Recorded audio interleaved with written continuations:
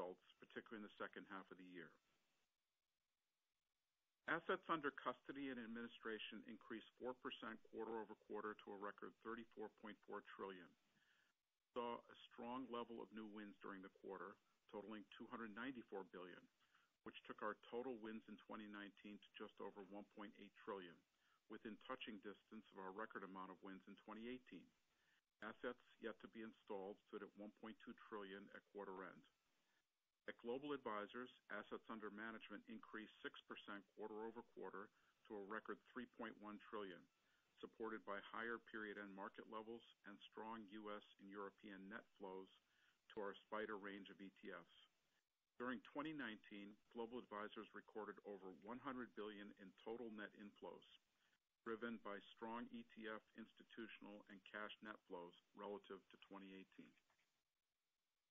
Relative to the year ago period, fourth quarter total revenue increased 1%, reflecting improved servicing and management fees driven by stronger equity markets, partially offset by lower NII and markets revenues.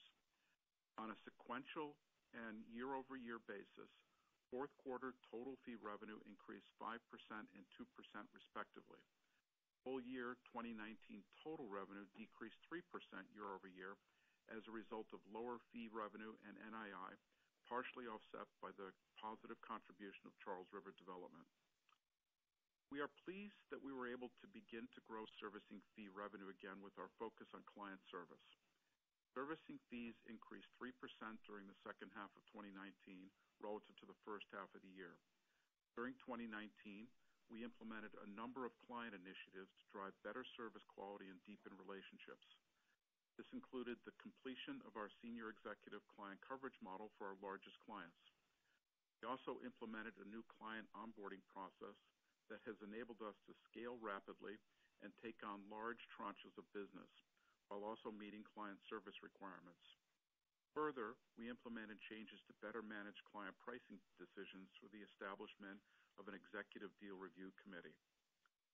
We know that there is more for us to do, and as we begin 2020, reigniting total revenue growth remains a core strategic priority for all of us.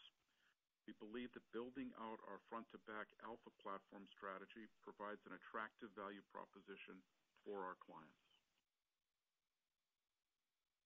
During 2019, we undertook significant actions to improve our operational efficiency and reduce expenses. This time last year, we launched a comprehensive firm-wide expense savings program to aggressively manage down expenses, driven by new resource discipline, process re-engineering, and automation efforts. Initially targeting $350 million of gross expense saves, we subsequently increased our expense savings target to $400 million, which we exceeded, finishing the year at $415 million in gross expense savings.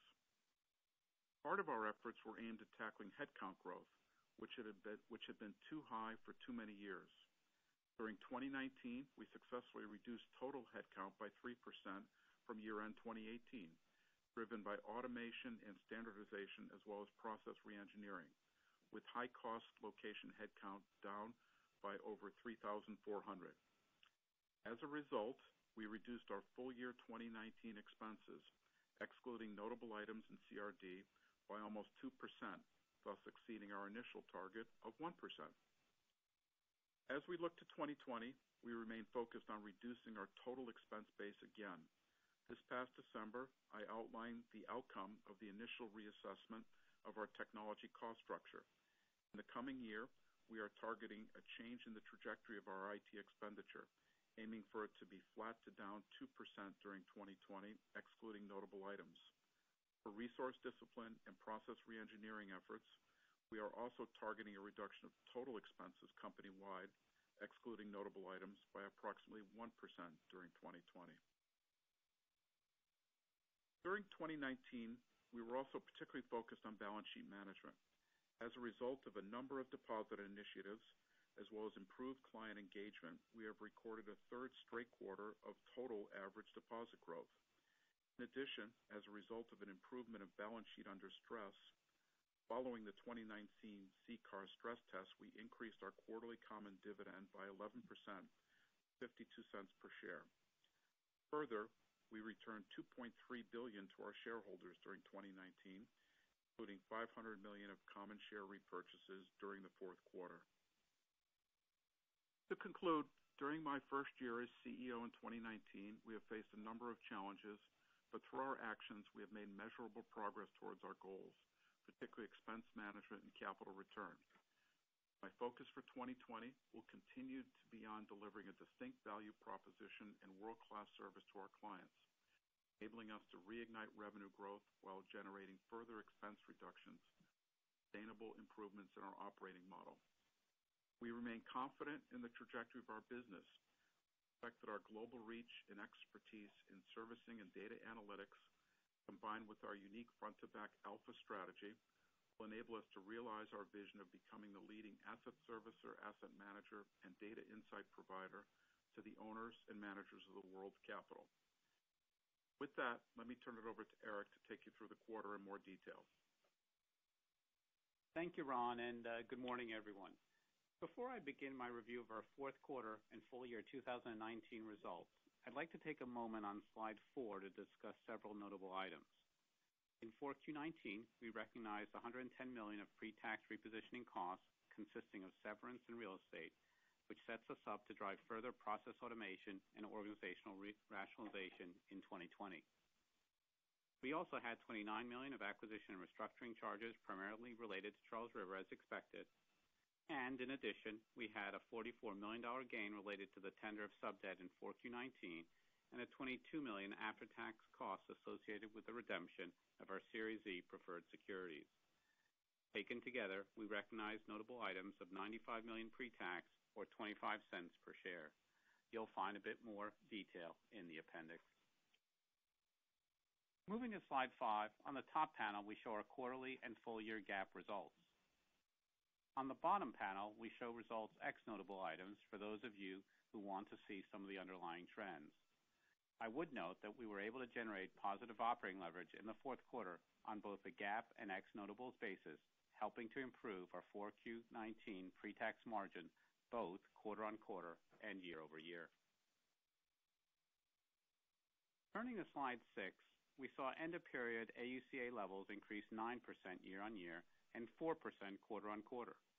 The year-on-year move was driven by higher end-of-period market levels and client flows, partially offset by a previously announced client transition, which is now largely behind us. Quarter-on-quarter, the AUCA increase was mainly due to higher end-of-period equity market levels, client flows, and net new business. AUM levels increased 24% year-on-year to a record $3.1 trillion, driven largely by higher end-of-period market levels and strong net inflows of approximately $100 billion, which were spread relatively evenly across our institutional, cash, and the SPDR range of ETFs. Amidst a challenging organic growth environment for asset managers, State Street Global Advisors realized AUM share gains during the year in both money market funds and across our low-cost ETF array. It's a reminder that our business is positioned to further scale its offerings and to improve margins in doing so. Moving to slide seven, servicing fees were up 1% year-on-year and 2% quarter-on-quarter. As Ron discussed, while industry pricing pressure persists, the pace of quarter-over-quarter servicing fee headwinds continued to moderate in 4Q19, with this quarter's results showing three consecutive quarters of stable to increasing servicing fees, primarily driven by higher average market levels and net new business. And while equity markets were supportive over the course of the year, we are confident that management actions taken since late last year, including the rollout of our new client coverage model and newly formed executive pricing committee, have had and are continuing to have an impact. Nevertheless, there is much more to do, as Ron mentioned. Driving higher servicing fee growth will remain a strategic priority in 2020. And we continue to see significant interest in our front-to-back alpha platform. We now have four wins, all of which have expanded our scope of business with existing clients. On the bottom right panel of this page, we've again included some sales performance indicators to provide a little more texture. As you can see, AUCA wins totaled 294 billion in 4Q19 and approximately 1.8 trillion for the full year. The sizable wins this quarter and throughout the year again demonstrate the benefit of our scale and capabilities as we build new relationships and continue to grow existing client relationships by providing additional products and services. Turning to slide eight, let me discuss the other fee revenue lines. Beginning with management fees, 4Q 2019 revenues were up 6% year-on-year, primarily due to higher average equity market levels and inflows from ETF and cash, partially offset by mix changes away from higher fee institutional products. Compared to 3Q 2019, management fees were up 4%, driven by higher average equity market levels and inflows from ETFs, partially offset by outflows from institutional. FX trading services were down 7% year-on-year and 4% quarter-on-quarter as the business was negatively impacted by low volatility levels, partially offset by higher volumes. Securities finance revenues were also down 8% year-on-year and 4% quarter-on-quarter, due mainly to lower industry volumes and spreads. Finally, software and processing fees were up 18% year-on-year and 54% quarter-on-quarter, reflecting higher CRD revenue and positive market-related adjustments. Moving to slide nine, you'll see in the top left panel a five-quarter summary of CRD's standalone revenue and pre-tax income.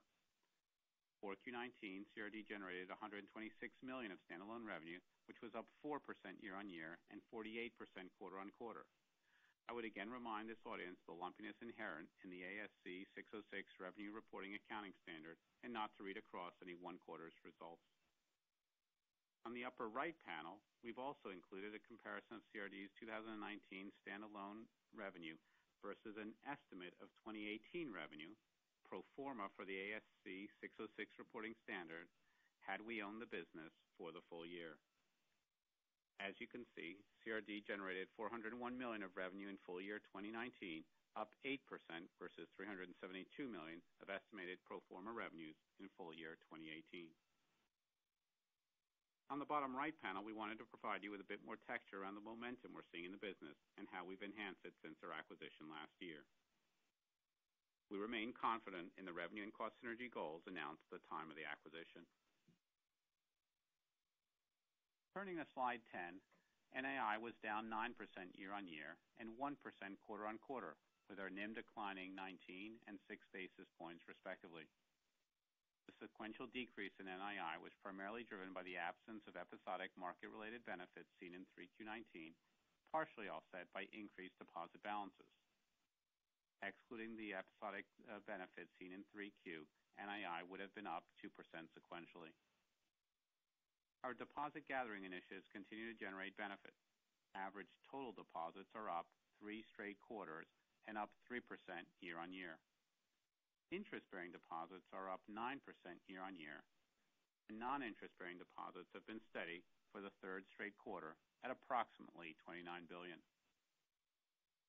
On the earning asset side, we targeted careful growth in client lending and a modestly larger investment portfolio, with both the average 4Q loans ex overdrafts and the investment portfolio up 12% year-over-year. On slide 11, we're again providing a view of expenses this quarter, ex notables, so that the underlying trends are readily apparent. Year-over-year, our 4Q expenses, excluding notable items, were down 2% and flat quarter-on-quarter. You can see consistent improvement in the comp and benefits, as well as several other lines. As you recall, we announced a 2019 expense program this time last year with an initial target of 350 million. And thanks to a significant company-wide effort, we achieved approximately 415 million in saves on the full year, exceeding our initial target by nearly $65 million. And so let me provide some color on a couple optimization initiatives that were really helped us reduce costs last year. First, supplier negotiations and consolidation have been a big focus. We've made great strides in both telecom and tech infrastructure services, while also consolidating the number of our IT vendors. Second, the organization has been focused on realizing greater productivity. Automation initiatives launched last year have now led to four consecutive quarters of total headcount declines, resulting in high-cost location headcount reductions of about 3,400 this year, more than double our original target of 1,500. More to come in 2020 as we continue to work on every line of the P&L. Moving to slide 12, During the quarter, we returned a total of approximately 686 million of capital to shareholders. And for the full year 2019, we returned approximately 2.3 billion of capital, representing 108% of net income available to common as we executed our 2019 CCAR plan and delivered on our priority of increasing our capital return to shareholders. Moving to the right side of 12, you can see that both the standardized and advanced approaches CET1 ratio is at a healthy 11.9%, even with that level of capital return. We also consciously reduced our Tier 1 leverage and SLR ratios, primarily driven by the post-CCAR redemption of our Series E preferred stock, which is worth about $0.12 of EPS. We remain confident in our capital position and believe that we have incremental opportunities to continue to optimize our capital structure as changes to the capital rules are finalized. Turning now to slide 13, I'd like to cover our full year 2020 outlook, as well as provide some thoughts on the first quarter of 2020. Before I start, let me first share some of the assumptions underlying our current views for the full year. At a macro level, we are assuming slow global growth, interest rates based on the current forward curve, and a modest uplift from equity markets, as well as continued low market volatility, which impacts our trading businesses. So, beginning with revenue. We currently expect that fee revenue will be up 1%-3% for 2020. This includes servicing fees growing modestly at the low to middle end of this range, management fees growing at the high end of this range, and CRD revenue should grow at low double digits. Regarding the first quarter of 2020, we would expect fee revenue to be down quarter-over-quarter by low single digits, perhaps 2%-3%, given headwinds such as the expected asset mix shift by a single client in asset management, as well as seasonally lower CRD revenue. Regarding NII, we expect it to be down 5%-7% in 2020 versus 2019, driven by the carryover impact of lower market rates and some continued rotation in the deposit book. Starting first quarter of 2020, we expect NII to be down about 5% sequentially, driven by the full quarter impact of the October's Fed rate cut, lower day count, and the fourth quarter long-term debt issuance. On a positive note, we do expect that NII should largely stabilize in the second half of 2020, assuming, of course, that there isn't a significant change in the interest rate environment. Turning to expenses. As you can see in the walk, we will continue to be laser-focused on expenses and expect to achieve approximately 4%-5% in savings, driven by our continued focus on resource discipline and process engineering, as well as our technology optimization plan. This will include a reduction in headcount of an additional 750 roles in high-cost locations in 2020, which is related to the repositioning charge I mentioned earlier. These expense saves will be partially offset by approximately 3%-4% of ongoing business-building investments in areas like CRD, tech infrastructure, and the variable costs of new business growth. This should yield a net 1% reduction, excluding notable items, in 2020 total expenses. Regarding first quarter 2020, we expect expenses to be largely in line with this guide year-over-year and consistent with the seasonal expenses usually occurring in the first quarter. Taxes should be in the 17%-19% range for the year, but we expect first quarter 2020 to be at the high end of that range. And finally, given our strong capital position and recent capital optimization, we expect to continue to actively return capital to common equity holders in the form of payouts and returns, subject, of course, to the Federal Reserve scenarios and associated approvals. So, moving to our summary of full year 2019 results on page 14. We were pleased to see fee revenue improve over the course of the recent quarters as management actions and moderating fee pressure helped drive total fee revenue up 2% in the second half of 2019 versus the first half. At the same time, we continue to navigate a challenging interest rate environment and enhance NII with deposit gathering initiatives with three straight quarters of total deposit growth. We also successfully executed on our full year 2019 expense savings program, significantly exceeding our initial savings and headcount reduction targets and helping drive down expenses, ex notable items and CRD, by 2% year-over-year, demonstrating our ability to bend the cost curve. We're committed to doing more in 2020. Finally, we continue to optimize our capital structure and delivered on our promise of increased capital return to shareholders with approximately 2.3 billion in capital return in 2019 for a total payout of 108%. And with that, let me hand the call back to Ron. Operator, uh, can we open the line to questions?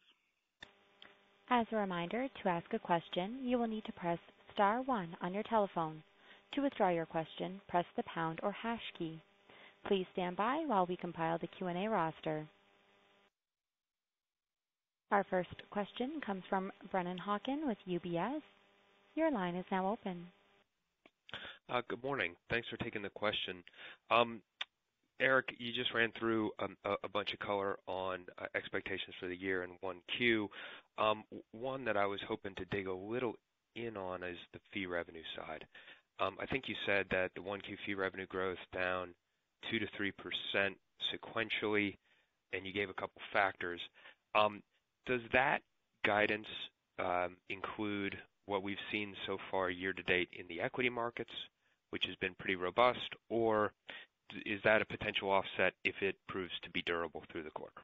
Thanks.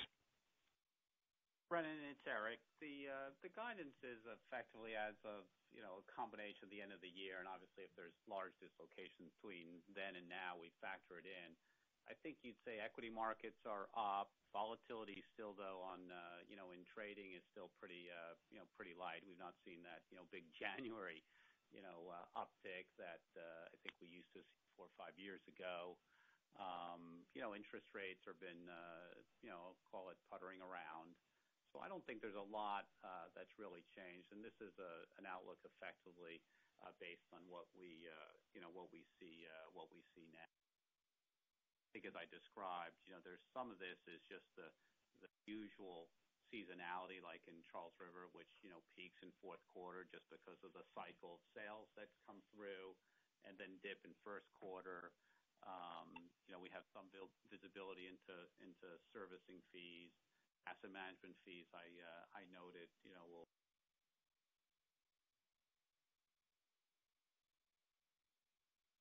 So it's kind of a combination um, uh, that we're looking at. That's that's all really fair. Uh, thanks for that color. And then when we think about some of these robust equity markets that we've seen, and um, you guys have clearly done a really good job of trying to get your hands around the elevated fee pressure that you were seeing you know, over early 2019 and leading into that. In the past, we've seen some breakage in fee rate when equity markets rally really hard, really fast because your your servicing fees are not all just purely contractually you know, uh percentage of AUCs, basis points on on assets under custody. Um, some of them are you know, uh inflation, some of them are pegged to um, activity levels and the like. So can you help us um, think about should we be prepared for optically, the way we model State Street, some fee rate pressure here in the near term just because of those mechanical factors you know, rather than thinking I just I I know some people think that when equity markets go up, okay, then the servicing fee is going to go up uh, with the fee rate being flat.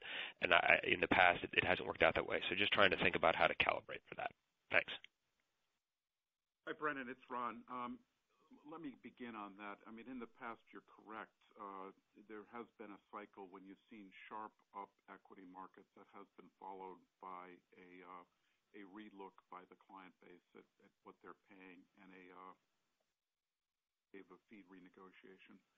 And and that's still possible. I think what's different this time is, firstly, uh, we have uh, comprehensively been through the client base, either um, at their bidding or at our bidding. Uh, in some instances, we've been the proactive ones wanting to take control of a situation. We've tended to get more term out of these things, and in general, the level of partnership that's uh, between us and our clients now is is at a much higher level. So I would suspect uh, my my uh my expectation would be that uh, certainly there'll be some conversation, but I would not expect the same kind of effect that we've seen in the past. Yeah, Brennan, I'd just add the kind of quantitative uh, side to this is, remember, most of our fee schedules in the servicing business are based off of averages. You know, average for a quarter or you know, multiple months within a quarter or have you. And so it's worth just remembering that if you tick through the uh, um, depreciation stock market indices, and I think there's a good table on the top right of uh, page six in our slide deck.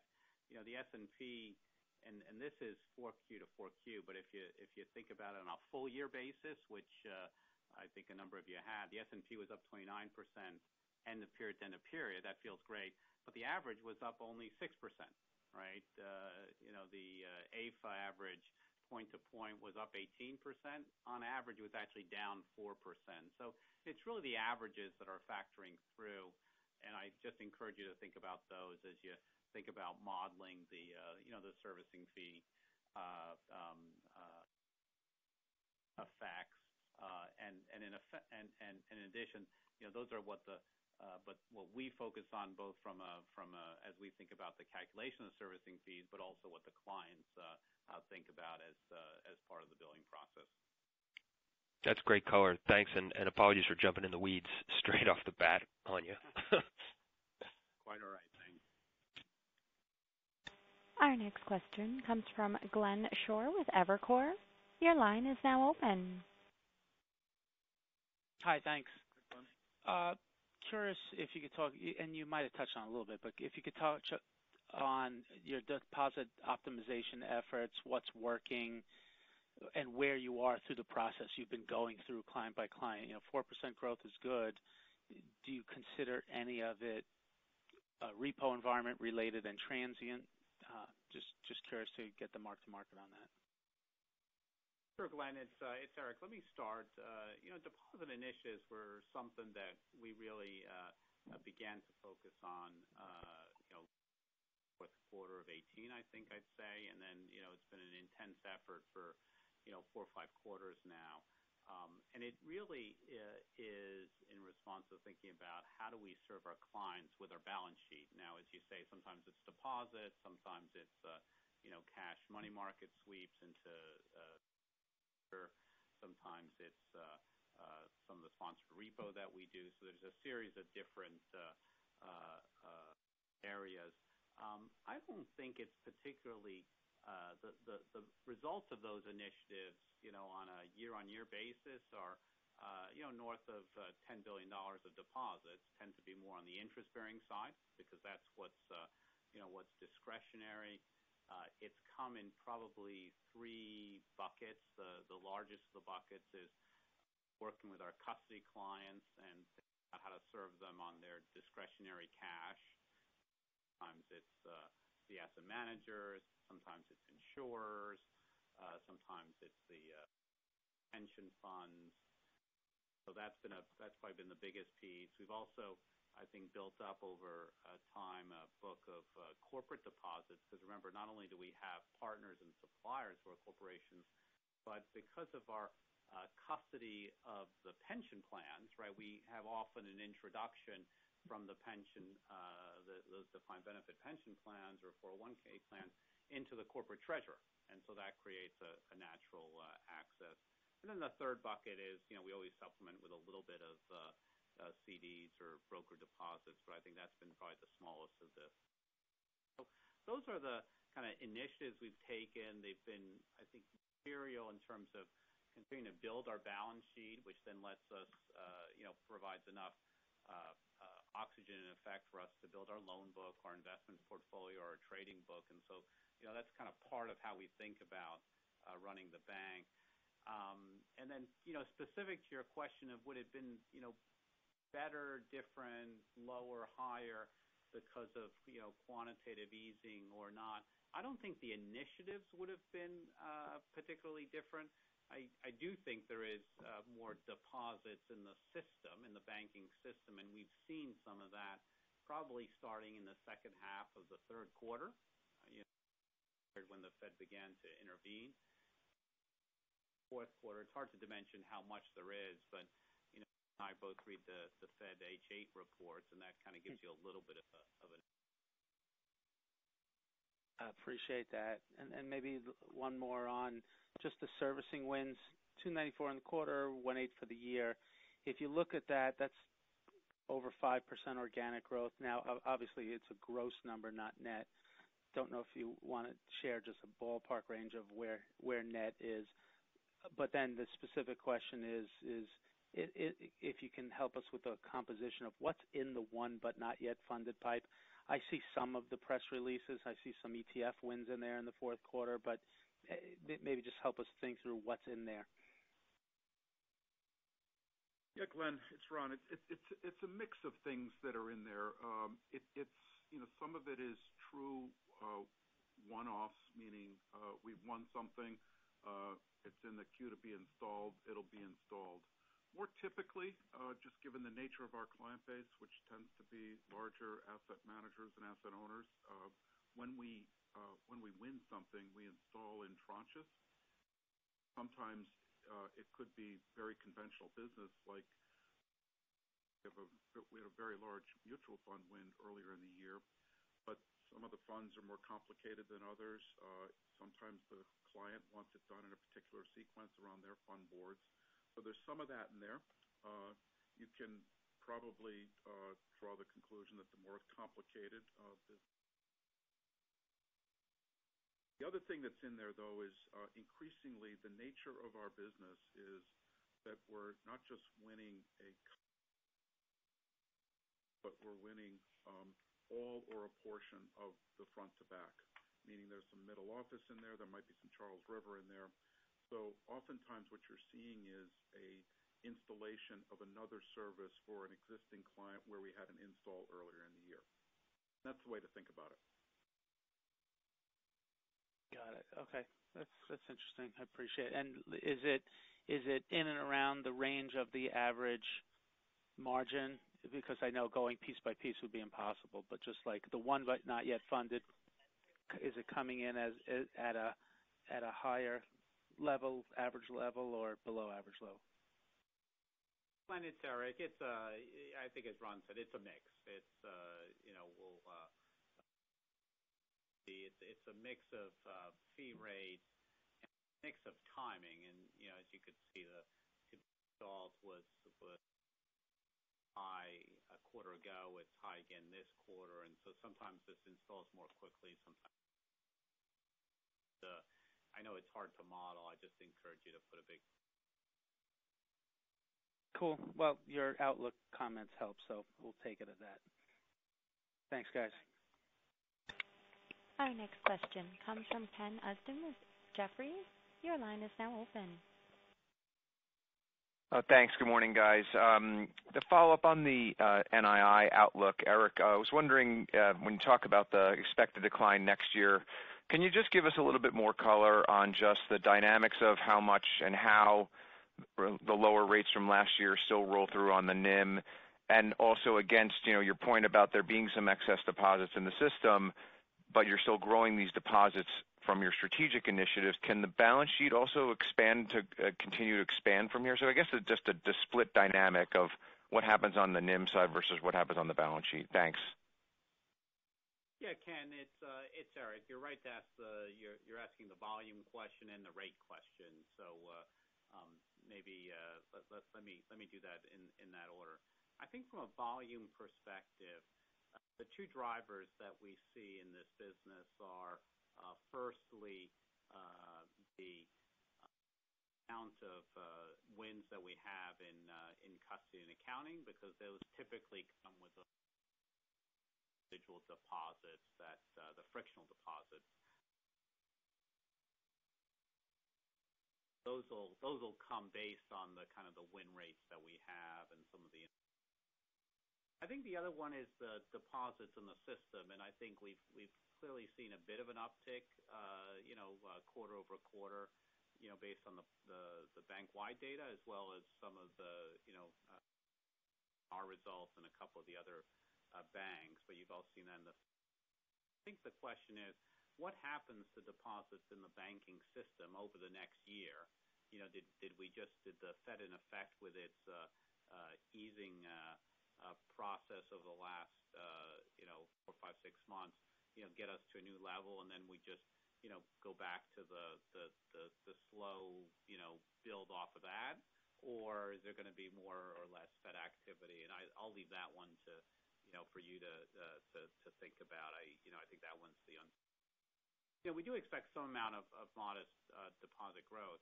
I think what we're careful on on deposits, and we still uh, expect to see, is some amount of continued rotation from non-interest bearing into interest bearing or you know, interest bearing into treasuries, because you're seeing that in the underlying Uh, asset holdings of our of our clients and in the industry.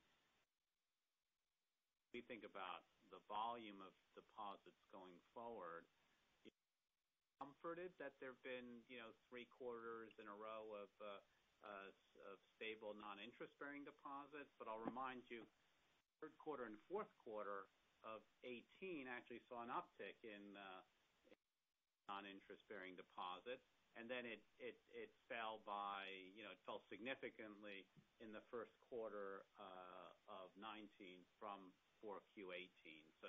We're hesitant to uh, think that we've gotten to a sea change. We like to see a flattening of that line, but we're hesitant uh, to call that a sea change just yet, which is why we do think there will be some continued quarters and year. Um, I think from a rate standpoint, it's everything you'd expect. Is long rates still uh, still have a negative effect on a full year basis against Well, uh, long rates. I guess I should say long rates uh, have a negative effect as the tractor of the investment portfolio plays through. And you know unless long rates pop up 30, 40, 50 basis points, you still have that playing through to a negative. You know, you have the short rates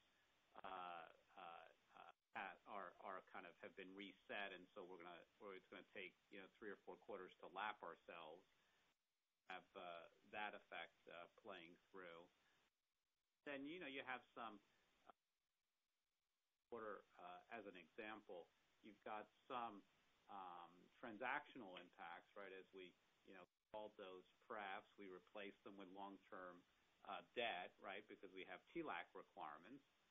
So in effect, I end up with higher net income, but uh the uh uh the you know I get it uh we get higher available to common, but we also have a uh we also uh have more interest expense because of how the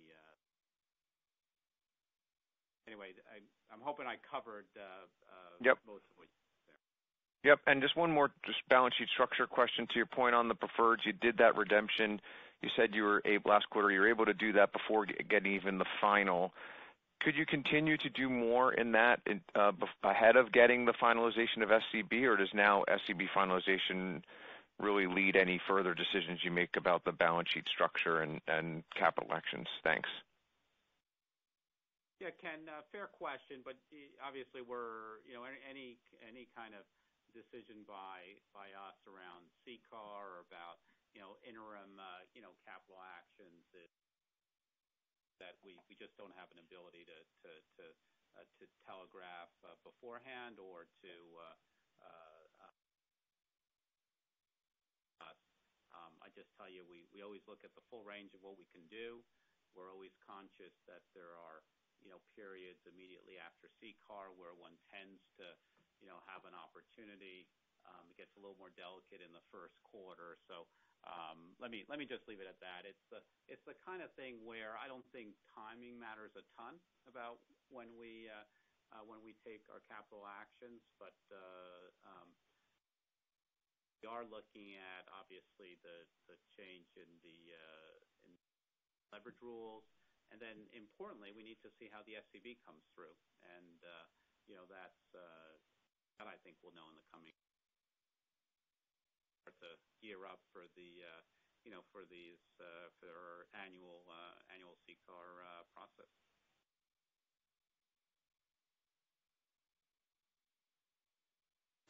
Our next question comes from Alex Blostein with Goldman Sachs. Your line is now open. Thanks. Hey, good morning, everybody. Um, Eric, I was hoping to dig into NIR uh, in the quarter um, around some of the deposit cost trends. If I look at the non-U.S. side, it looks like it was a negative, you negative four basis points kind of number. I know there's some FX dynamics that are all through that that could create a little bit of noise. But can you help us understand just kind of where you guys are in terms of deposit costs, how you expect it to evolve from here, and if there's anything one-off this quarter that that helped that? Yeah, Alex, it's Eric. I think there are a couple probably elements here that are flowing through the uh, deposit costs on the U.S. side and then the non-U.S. side. And the the page for those of you on the phone that's probably best to look uh, through is the financial uh, addendum that we have. Page seven, there's a detailed sort of average balance sheet table of the last eight quarters for everyone. Um, on the U.S. side, you see our deposit cost uh you know came down, I think, a nice uh, uh, 19 basis points. Uh, most of that is on the US uh USD side. Obviously, this is domiciled view, not the currency view, but it's it's indicative. Um and that's really the effect of that October rate cut and the full quarter effect of that coming through, adjusted for you know our mix of pricing and so forth. And so I think you see the sort of betas in that kind of 50% range flowing through that line. The non-U.S. domicile is a little uh little messier. Part of what you see there, and that one fell, those interest that interest expense fell more than uh than you would naturally expect. It actually went from a positive interest credit in effect. Uh, part of that was, remember, the ECB moved, and uh, we moved as well. We actually, our beta was uh, on that ECB national markets as other banks are doing as well, given that it seems like it's going to be negative, not for a you know a temporary period, but for a foreseeable future.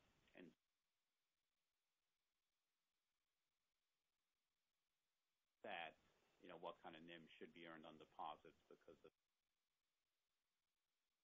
change. And then we also have uh, less in the FX swap costs, and so we had less uh, swap expense that line of the having the footnotes, and that just bounced around a bit, offset being on the uh, Got it. That's helpful. Thanks. Um, and then a slightly bigger picture question to you guys on profitability. I guess when we take a step back, obviously very nice move on expenses uh, this year, and you guys have more to do uh, next year. Um, I guess when you go back a year or so ago, you had a slide out talking about medium-term uh, pre-tax targets, kind of shooting for two percentage point improvements in pre-tax margin. Um, that's still the case, but I'm curious what's the base and what's ultimately the destination here? Because in 2018, pre-tax margins were 28, 29. You guys are kind of 26-ish this year. So um I guess off of which base should we be thinking about the two percentage point improvement? Thanks. Alex, uh, it's Eric. Let me start on that uh, because I think it's something that we've obviously been thinking through. The markets, uh, when we set those up, when the markets were at a certain point, they worked against us both on the equity market side, which has largely bounced back. Now we need to kind of, it's going to take a few more quarters to get to a place where we're uh where we're pleased, and that was in our outlook. But it was also at a time when NII right was expected to go up, and NII has actually gone the other way. And I think I mentioned in one of the conferences late last year that you know, that that change in NII cost us effectively two points of margin. That said, that's just uh that's just information. I think when we think about how we need to run this business, Uh, we still need to uh, drive towards those uh, those targets and drive to those targets at pace. And I think we've been clear that you know, at the time we set those, that the pre-tax margin was in the 28% range. And I tell you, if we're at 26% now, you know, we need to we've got plans to get to 27% and 28% and 29% and you know, ultimately get that three handle or the the 30 handle on margin because we think this is a business that should operate at that level. And I think if you work through some of our you know, guidance for this year, you see us making headway on margin, Um, you know, driving revenues up and expenses down. And I think you'd continue to expect that kind of you know, uh leverage, operating leverage and margin expansion is uh you know, is kind of tantamount and kind of a fundamental part of our planning process. So we're uh, standing by those targets. We think they're important. Uh, they they were they were well set, and uh, that's where we're headed. Great. Thanks so much for that. Yep. Our next question comes from Brian Bedell with Deutsche Bank. Your line is now open. Great. Thanks. Good morning, folks. Um, You just come back to the pricing pressure concept in asset servicing. And one detail I did miss, if you could just clarify the the fee fees down 2%-3% in 1Q, just the servicing uh asset servicing fee component of that for 1Q. But the broader picture uh the broader question is, um you know, we've had that 4% pricing pressure, I think, that you identified, Eric, a while back, and that had been moderating to that sort of 2% headwind. Just just want to get your thought about that headwind coming into 2020 and clarify that is um, that is uh, separate from a mix shift. And when I talk about that as um, the the the common uh, mix shift towards ETFs and away from mutual funds, which I know are lower revenue capture, albeit they are um just as I believe they're just as profitable because of the lower cost of servicing them. Maybe you could just talk about that dynamic in the uh you know as how that shapes that 2020 1%-2% up for servicing fees. Yeah, why don't I begin this, Brian, because there's there's uh there's a lot in what you asked in terms of of pricing and how we think about our outlook on on pricing and pricing pressure. I mean if you look back on this business for time immemorial, right? Uh, there's been this kind of enduring uh, deflation in the business, which uh, we've all come to know and live with.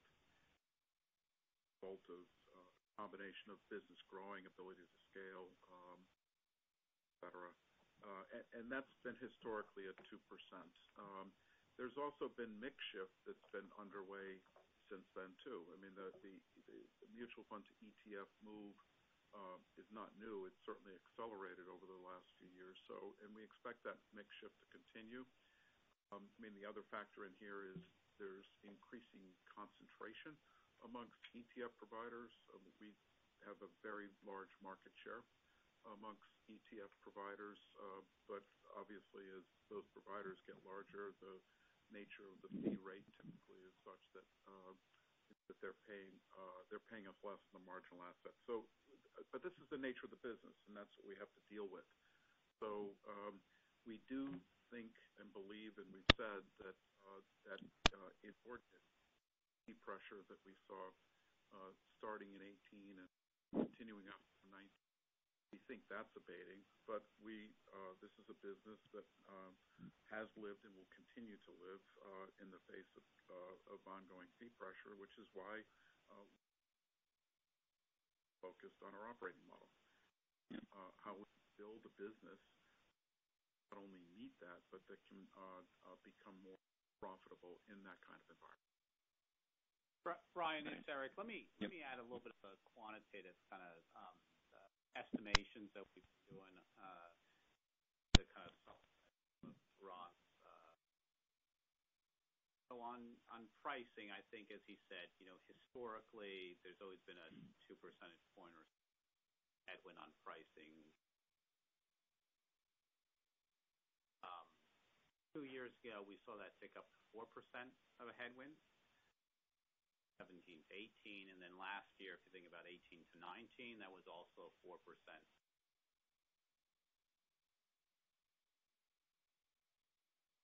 I think we've described how we've been marching through a set of renegotiations and uh,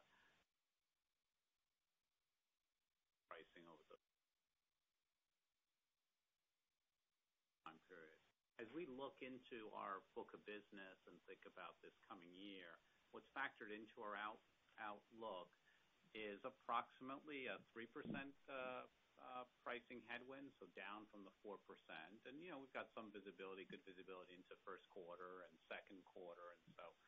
That's that's factored into uh, to our outlook on servicing fees on a full year uh a full year basis.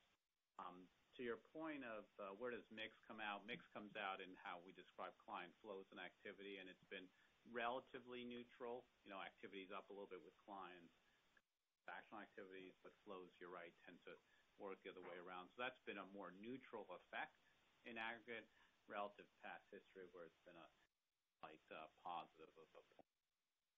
Um and then finally, on first quarter, you asked, I'll just remind you that uh, what I guided to on uh, on fees for the quarter was down 2%-3% in aggregate for fees.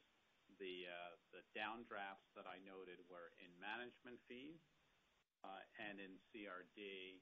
Uh, and so, um, by omission, I didn't really cover servicing fees because we we expect those to be flattish. Um, Great. That's great color. Maybe then just on CRD, um, you know, uh you guys reiterated the the revenue and cost synergy outline that you had from from day one. I know that's mostly a 2021 impact in terms of where you want to be. Maybe just an update on sort of the um uh sort of the timeline into that or how you're thinking about 2020 in terms of Uh, part of that $260 million-$280 million um, revenue goal for 2021. In other words, uh, is that uh, are you making material progress, do you think, in 2020 as it relates to your guidance there?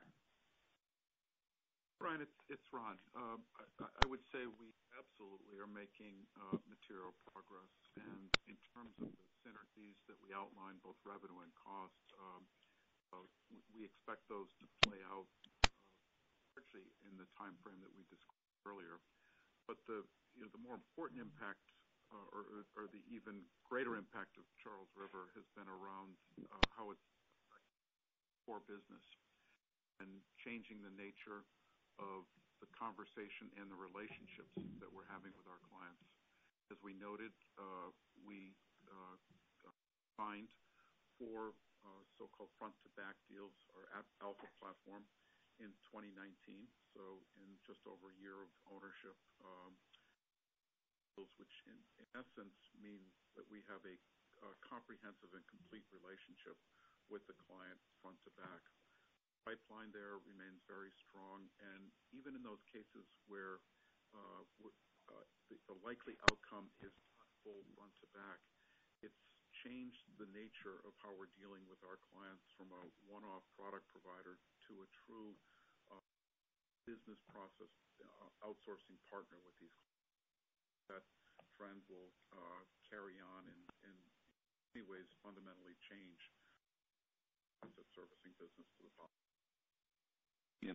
That's great. Is it more of a linear progression through 2021 or more of a hockey stick into 2021 as you know, as you sign these deals in terms of revenue?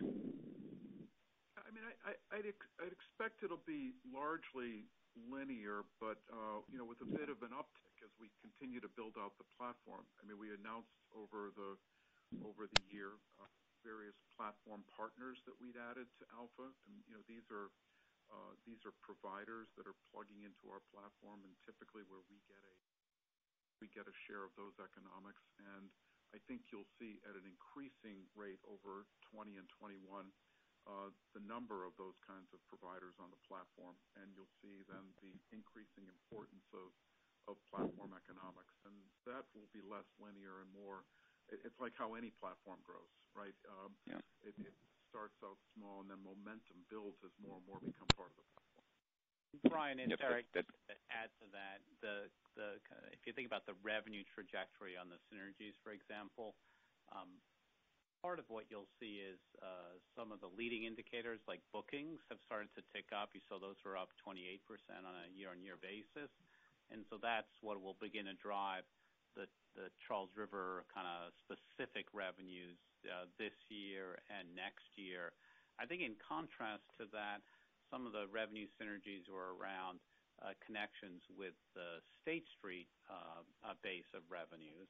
And in particular, you know, the trading uh the trading and sponsored repo kind of revenue activity that that we've quickly tried to link into Charles River tends to actually happen earlier in the three-year cycle than later, just because of the speed at which we can either make the the client kind of connections or the you know uh order management system connections. So there'll be a mix, and I think sometime this year, we'll we'll probably do maybe a maybe a more fulsome kind of where are we you know, as we're you know, a year and a half, two years into this deal, and uh and try to share more information. Sounds like that would be helpful. Yep, perfect. That's great color. Thanks so much. Our next question comes from Betsy Graseck with Morgan Stanley. Your line is open. Hi, good morning. Hi, Betsy. Um, Eric I wanted to just uh Eric and I wanted to just dig in a little bit on some of the comments around the expenses. I think during the prepared remarks, you mentioned um, you know, that there's more to come, and I would expect that. I was just wondering, should we anticipate that the pace of change, the rate of change of expense reductions is something you think you can continue for the next few years? Or is this uh, um, 2020, we get the 1% down, and then you know, it's more um, hold it steady or uh, continue to grow? So well, I should say continue, but you know, grow in line with just you know, core expense um, pressure. So just wanted to get your understanding as to the duration of uh, your expectations around the more to come. Thanks. Betsy, let me begin on that. And while we're not giving guidance beyond 2020 at this point, um, I would say that our ambition is to continue uh, to manage expenses down, offset by the necessary investments that we need to make. Uh, we believe that there's more room for productivity improvement. Our automation efforts are underway, uh, but we have much more in front of us than what we've accomplished. So we we see a path to uh, uh, continued and ongoing expense management, certainly through 2020, and likely beyond, is the way I would think about it.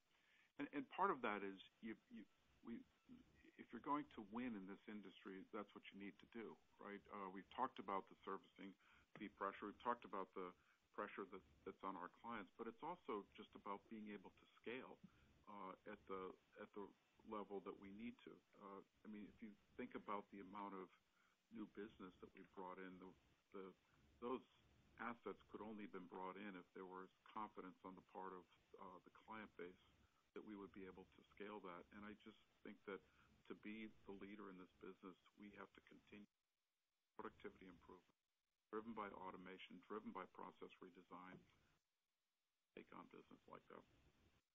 If we get- Go ahead, Betsy. I was just going to say, if we get a you know slightly different rate environment where you know, rates come down again, do you feel like you have the flexibility to ramp up that invest you know, that um expense reduction? Betsy, it's Eric. That was partly where I was going to go. I think we're quite conscious that in a slower you know, top-line uh, uh, growth environment, you know, we're signaling 1%-3% on fees this year. You know, that's a year where you want to hold expenses, uh, actually bring them down, right? Because we need to create some some real operating leverage and margin expansion. And so yeah, I think part of the answer to your question is if if revenue growth is in that low single digits, then expenses coming down is the right answer. I think to your point, um, and uh, uh, uh, and precise question that you know if uh if revenues take a you know a downtick, whether it's interest rate driven or you know, something else on the you know, equity markets or something, um, then we would go deeper into expenses and we'd you know, ration our reinvestment and just do it perhaps at a different pace. We'd find ways to to to accelerate some of our other optimization efforts. You've seen what we're doing in IT, for example, that we described in December. We'd go deeper there and just just think about you know, where we were in uh Decem I'm sorry, January of 2019. You we we announced 1% down and felt like uh you know through the middle of the year, the environment hadn't gotten appreciably different, and so we ended up with 2% down. I think that's the kind of incremental action we would uh, find a way to deliver uh, if the environment were not uh, favorable. Okay. Thank you. Appreciate it. Our next question comes from Jim Mitchell with Buckingham Research. Your line is now open. Hey, good morning. Um, Maybe first question, um, just on the CET1 ratio standardized, it jumped uh, 60 basis points, looked like a $5 billion reduction in uh, RWAs. What w kind of what drove that, and is there more to do there? Jim, it's Eric. Um, I think you're uh you're on the capital uh, ratio pages where we've shown this quarter both standardized and advanced. And we did that because our binding constraint now is effectively both. They're almost right on top of one another. Right. Um, I think you need to be a scientist to really understand the trend in each of those uh, capital ratios. So let me try, and I'll uh we'll we'll do a follow-up uh, if if necessary. So standardized, remember, is more volume driven with some very relatively simplistic factors. And so the standardized ratio actually improved because standardized RWA fell sequentially, and that occurred in particular in the the standardized RWA of our FX activities and our secure uh uh securities uh I'm sorry, our sec lending activities. Uh and that's kind of related to the lower levels of volatility in the market and lower Uh, action. So that was the uh, the biggest downward driver of standardized. Um, if you take out your PhD and want to think about advanced RWA, um, our uh, advanced RWA went up, which is why the advanced ratio came down sequentially. And the advanced RWA increased because of loan growth and investment portfolio growth and a little bit of ops risk primarily. So those were a little bit um, apples and oranges, but that was the driver. I think from our perspective, we uh it just it's a good reminder that you know we live in a in a world of both, and we uh, obviously uh, you know uh, will will manage to both. I think what I found um, comforting is you know, notwithstanding all our capital actions that we've taken and our higher payout, we actually are at real healthy capital levels, and that obviously gives us flexibility going forward. It sets us well sets us up well for uh, this cycle of CCAR, uh, and uh, you know, we can take things from there. No, absolutely. Standardized is what matters for CCAR, and that going up is certainly a nice positive. So, but maybe just as the second question, following up on your guidance of kind of fee revenue growth of 1%-3%. Um, just maybe to push back a little bit on it. Um, if I look at 4Q fees and normalize for seasonality and processing fees, um, and then just annualize 4Q, I get to almost 2% growth in 2020. It doesn't feel like a very ambitious uh, target when you think about the S&P is now currently 8% above 4Q average levels. So you have a pretty big tailwind in the markets. You have about 3.5% of growth from um, AUCA that's yet to be installed. The $1.1 or $1.2 trillion is equivalent to 3.5% growth. You have its market tailwind, and you only have about 2% fee income growth. Is there something we're missing? I know you talked about the 3% reduction in the fee rate, but seems like there could be a little better than that. And just please you know, feel free to talk me down from that.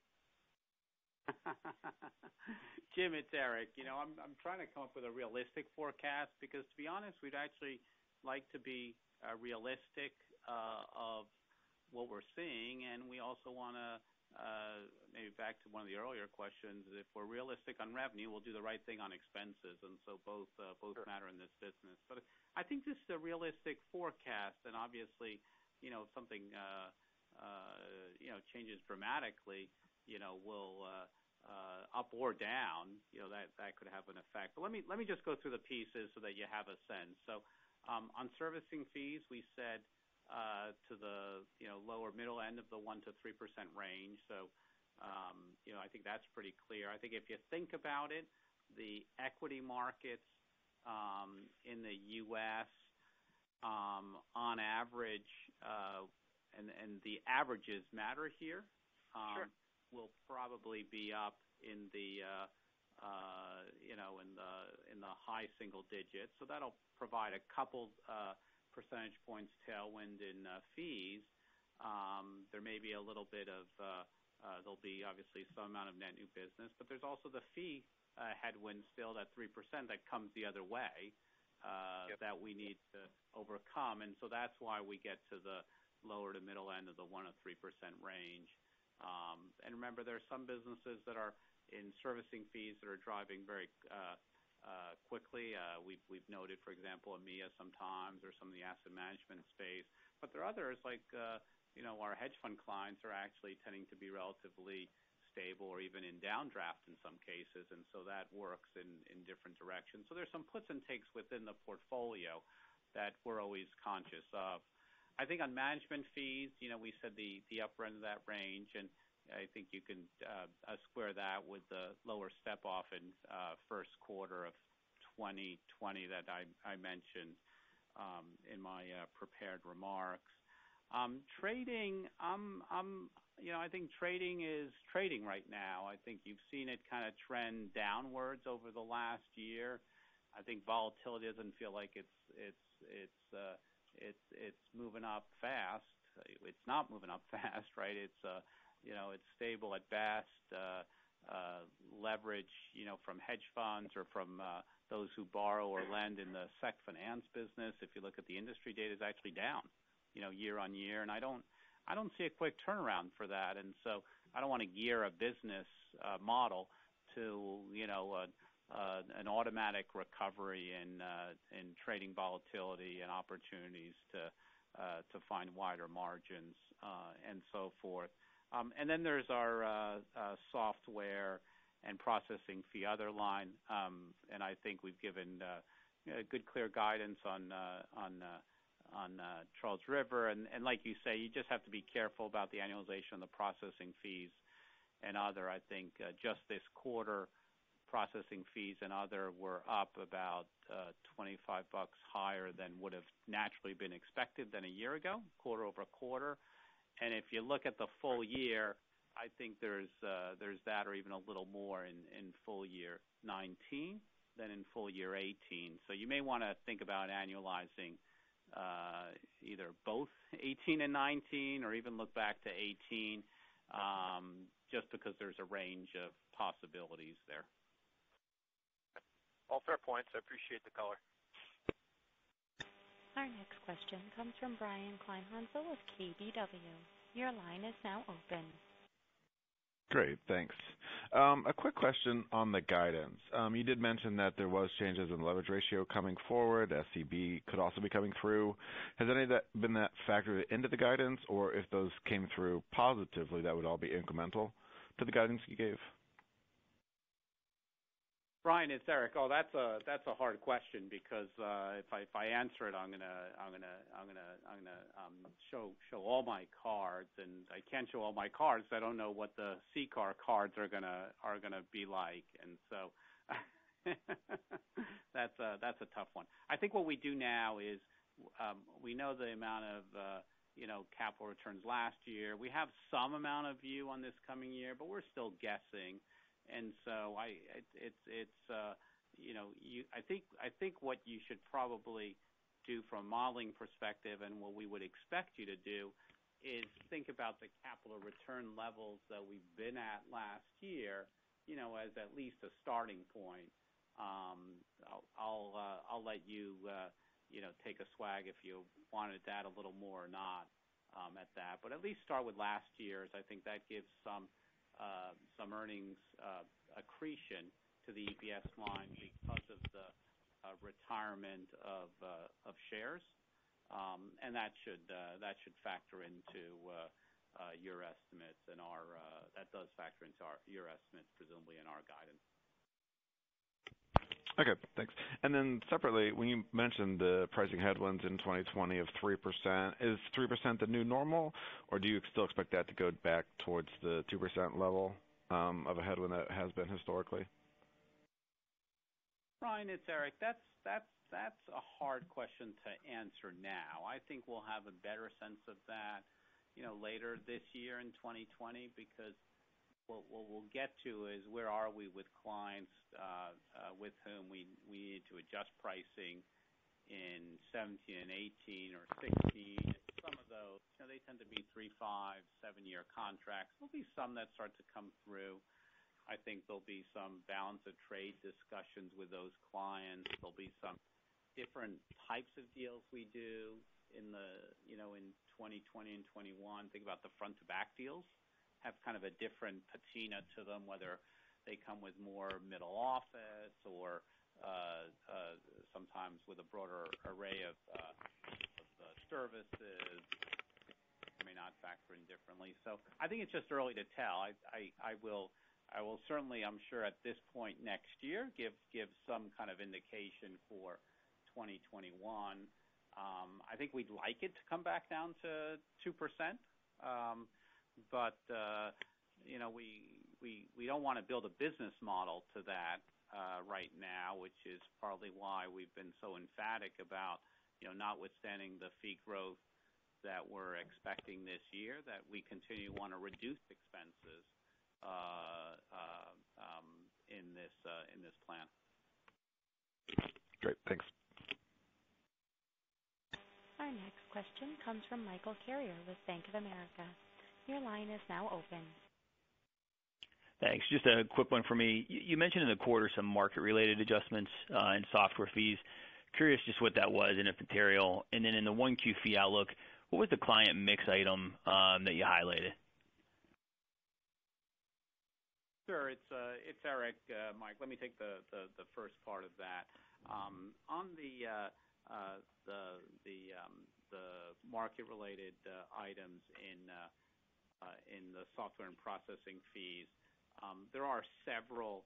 Um, the larger ones are tied around uh, the asset management business, where uh, there are kind of two underlying activities. There's an activity where we seed funds with our own capital, and obviously, if those funds do well or if there's an equity market uptake, you tend to have a positive mark to market because they're effectively on our balance sheet.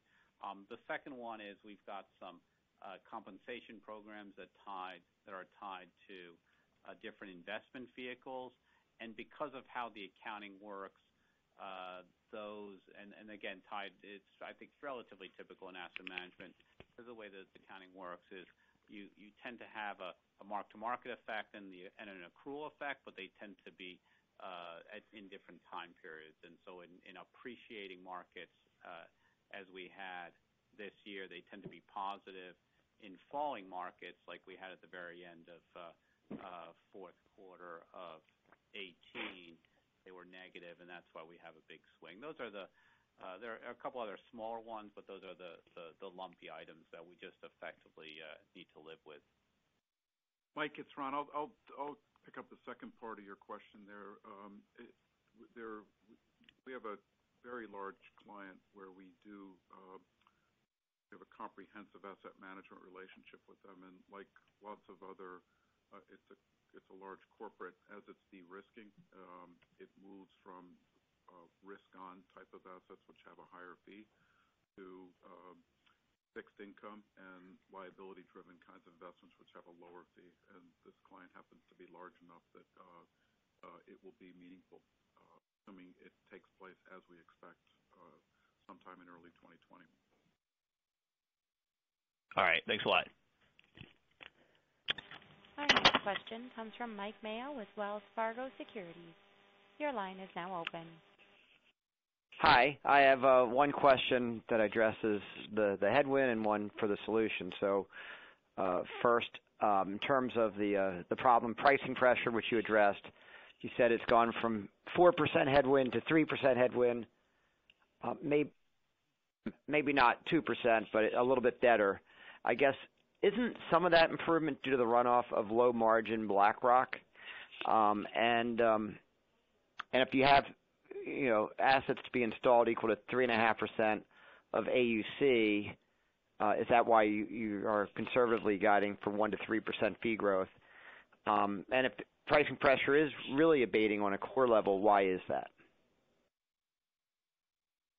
Mike, it's Eric. I think there are a couple different pieces there on the on the on the pricing pressure. I think we try to be real distinct in our uh, certainly internal analysis, but also our disclosure around pricing pressure relative to other drivers of the fee, uh the servicing fee line. So the other drivers are net new business, which would include a client transition uh, uh, or or added business.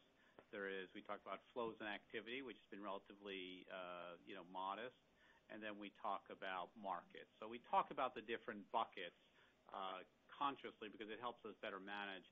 And I think if you go through some of the description that I gave, the fee headwind we do expect to be uh, lighter from 4% this past year-over-year. In 2020, we expect it to be closer to 3%. I think we do expect some Uh, market uplift in 2020. That's in contrast to effectively no market uplift in 2019 if you look at the averages and you look at the averages around the world and uh, and average those. And then um on net new business, which which would include some uh, some of that either added clients or the occasional transition out, um, we do expect that that would be Um, a bit positive in 2020 based on some of the uh, uh, the last uh, year of significant wins. And in 2019, to your point, it was actually flat in effect, and that was because of uh that that client transition. So that's a little bit of compare and contrast. Mike, on your question on uh you know fee pressure itself, um, maybe the better way to describe it is we see the effects of fee pressure abating. At some level, clients, of course, want to have the best fee proposition that they can. We've gotten better at managing that, and we've gotten better through the addition of additional services like Charles River and the Alpha platform of being able to respond to a fee reduction with a uh with either a consolidation of business, Uh, offsetting new business, uh, a deeper uh, and broader share of the wallet. So uh maybe the way to think about it is there's always ongoing fee pressure, and at times that's higher or lower, but it's always there. In the meantime, we've gotten better at managing it, both in how we actually go about managing, but also in terms of the additional services that we can now bring to bear. Um, part of the solution to that, as you've mentioned, is getting more efficient, reduced headcount four quarters in a row, and really technology.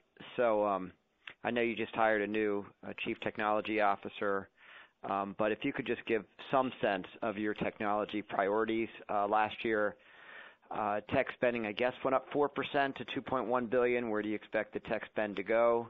Um, and I know I've asked this, I asked this at the annual meeting last year, but you know, you ended uh, the decade with a uh, 26% pre-tax margin, and it was 29% when you first converted to the cloud. You know, just and this predates you, Ron, predates you, Eric. But you know, when you look back at that and you say, okay, what are you going to do different the next few years that you maybe should have done or State Street should have done earlier last decade? There's a lot in your question, Mike, and let me try and uh, answer it efficiently. Um, the focus last year was on uh, firstly being ruthless in our prioritization of what was important, um, and tying it uh, much more closely to the needs of the business. Firstly, our clients, secondly, what we needed to do for our operating model, and thirdly, what we needed to do for ongoing improving ongoing operational resiliency. Um, we're very careful about the incremental investments we make, but we need to make incremental. Um, that has set us up, uh, That, uh, if you will, the actions we took in 2019 have set us up now to be focused on what we think are the right priorities. Uh you know, we've let go some personnel that we felt just weren't consistent with the priorities that we'd set. Um, and now what we need to do is just get better at executing those priorities. Um, we feel we've got a plan in place to do that. So uh what we told you is that uh, you've seen our historic growth. Uh, our intention is to bend that expense growth just like we've bent overall expense uh, growth. We'll do that through a combination of continuing to reprioritize. Um, the gross impact of that will be um, Uh, reasonably high, but it'll be offset by the investments that we need to make to continue to be positioned the way we want to be with our clients. Net result of that will be uh, arresting of the growth, but will probably still be slightly up for the way I would think about it. Okay. Uh, so, total tech spend should increase, what, like 1%, 2%? Any numbers or just a little bit higher? No, let me let me just uh, clarify. Um we uh, we were very clear in uh, December that our tech spend has been this this past year, 2018 to 2019, has been up, right, and up way too high in the high single digits at the 8%-9% range. And uh our plan this year, which is factored into the outlook, is to have tech be flat to down 2%.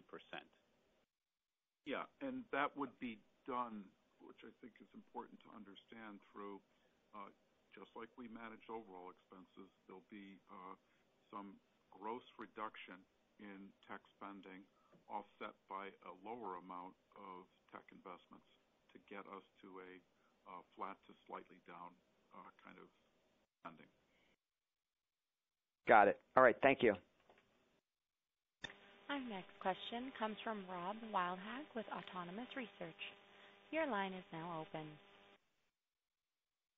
Morning, guys. Uh, Ron, in December, you highlighted some hiring to target growth in the asset owner space. Can you talk about the um, competitive dynamics in that business and any differences from the asset manager side? And is that something you're emphasizing as a real strategic priority in the near and medium term?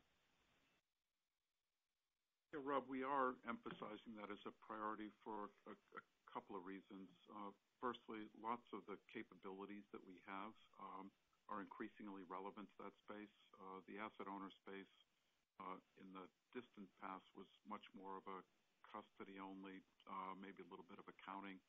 Uh and increasingly, asset owners of typical large and medium asset owner, firstly, is some form of an asset allocator, and in many cases, they have their own investment activities alongside what they're doing with third parties.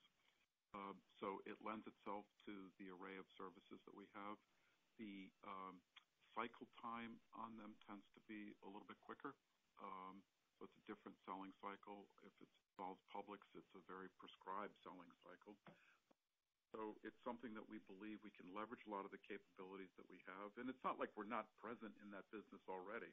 Uh but we believe there's opportunity to grow share as that segment needs more and more of the distinct capabilities. Got it. And then on um, the asset management side, there's obviously been some consolidation in the e-broker space, and I believe there was some speculation that this could have an impact on distribution of State Street products. Do you think that's the case? And you know maybe more generally, can you discuss how you're thinking about your distribution strategy as that landscape keeps evolving? That's a good question. And there's uh I think that uh, that's uh, we're still in early stages in that.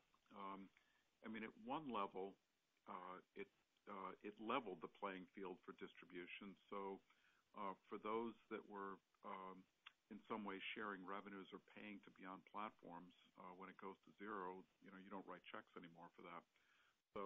Um, In some cases, for us and others, we're not the only ones, it's reduced our expenses, but it's also uh, it's harder to get. Uh, it's harder to pay for now a uh, distinctive positioning. What we do think it will cause is with, if you will, transaction fees no longer the primary criterion by many investors. We believe that it's going to uh that it should enable us to point investors to what they should be focused on, which is liquidity of the product, uh, the true cost of moving in and out of the product. And we've got um, in the SPDR range, we've got some of the most actively traded products out there. Very liquid, uh, in some cases deeper and more liquid than the underlying assets. So uh we think this is an opportunity for us to actually focus on the liquidity side, the importance of that for our uh, investors. But early early days in this. Great. Thank you. Our next question comes from Gerard Cassidy with RBC. Your line is now open. Thank you. Good morning, Ron and Eric. Gerard. Ron, can you share with us, you talked earlier about business wins, and there's been a whole mix of different products that you've succeeded with this um, past year. Can you talk to the front-to-back business wins, which is new because of Charles River? Um, what types of customers are you seeing um, grab onto that type of full array of products? Is it a completely new customer, or is it no existing customers that are now willing to give you that opportunity to go front to back? Yeah, Gerard,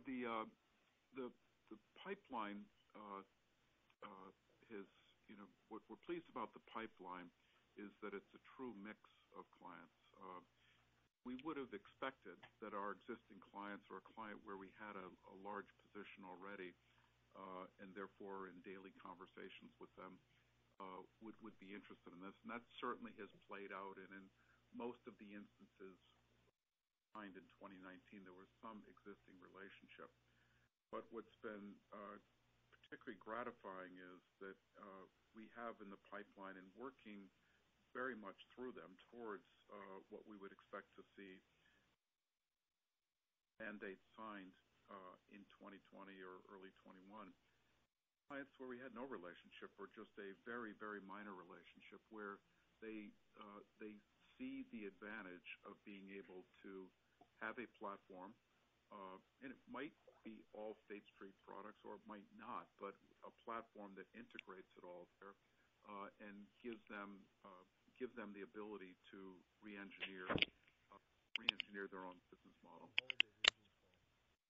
It's led to, as I said earlier, a just an entirely different set of conversations with clients. It's not about, you know, we'll do custody for you at a fraction of point lower than the other guy. And it's much more about what are you trying to achieve in your business? Uh, how can we help you? Interestingly, um, as you'd expect, some of the clients in the pipeline are those that are are challenged by the environment. Others are those that are already winning in the environment and are trying to figure out how they're going to be able to scale for the next five or 10 years. It's a rich mix of clients, and we think has a just a very very large potential for us as we go forward. Very good. And then uh maybe, Eric, I know there's been a lot of talk on the call about the pricing pressure that you guys have seen. You know, you know, it went up to 4%, now it seems to be coming in a little bit. And you talked about the mix of your business repricing, which may be you know, contributing to the reduction. Can you talk to the pricing competition, though? Are you finding that your competitors are less you know, price competitive than maybe two or three years ago, or has it really remained unabated? Gerard, it's Eric. I think it's actually a mix of um, competitors in some cases and clients in others that actually drive uh, the the pricing uh you know headwinds. And so uh if you think about it, you know, we are the largest of the providers to the asset manager segment uh, in the U.S. and in uh, around the world as a custodian and and fund accountant. And I think it's those clients, the asset manager clients in particular, that have actually borne the brunt of some of the challenges in the investments industry. And so in some ways, uh you know we're we're we're we're we're we're near to the bullseye of where there's disruption in the investments industry, and that's uh that's that's been why I think we've been disproportionately impacted. It's kind of the the effect of having that larger share position. I think we've always seen competitors you know, come in and out of our industry. Um, you know, certainly, those in the other segments are envious of our position asset managers. Um but I I don't I don't think it's as much a competition-driven change. There's always some of that, but I don't think it's as much of that. And and I tell you, for every large competitor that's in the ascent, there's a large competitor you know, who's uh, beginning to fade and you know, focus on other areas. Or sometimes there's a small disruptor coming in. There are other small uh, players uh, deciding that there are other areas to refocus. So um I think a little more client-driven than otherwise. Well, thank you, and I appreciate the time that you spent on the call. Thank you. Thank you. There are no further questions at this time. I will turn the call over to Ron O'Hanley for closing comments. Uh, thanks very much, everybody, for your participation and your interest. This concludes today's conference call. You may now disconnect.